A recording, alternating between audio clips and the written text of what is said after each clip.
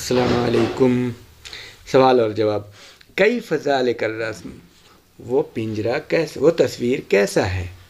ذال کر رسم و جمیل جدہ۔ وہ تصویر بہت خوبصورت ہے۔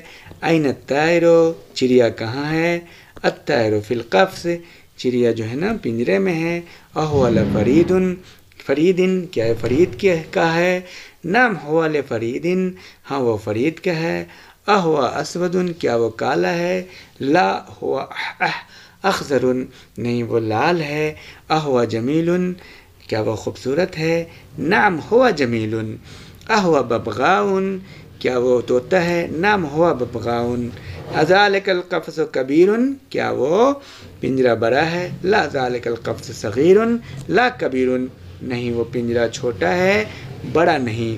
احاظت درس و صابن کیا وہ سبق مشکل ہے؟ لا حاضر درس و سہل لا صحب نہیں وہ درس آسان ہے، مشکل نہیں۔ اب دیکھیے اردو اور عربک سمجھتے ہیں۔ یہ کتاب کس کی ہے؟ لمن حاضل کتاب طوطا کس کا ہے؟ لمن البغوا، ببغائے۔ لمن من کس کا؟ وہ پنجرا کس کا ہے؟ لمن ذالک القفص۔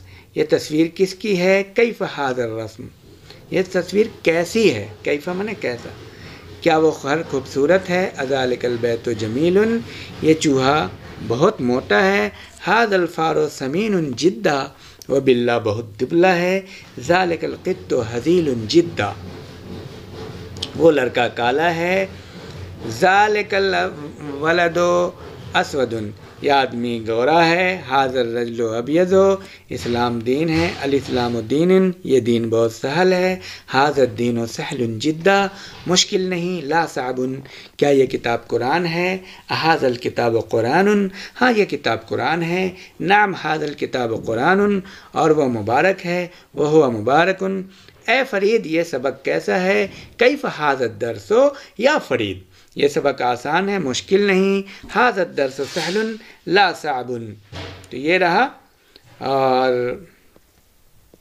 نیکسٹ ویڈیو میں ہم لوگ بات کریں گے اس کی، اردو ترجمے کی۔ جزاک اللہ۔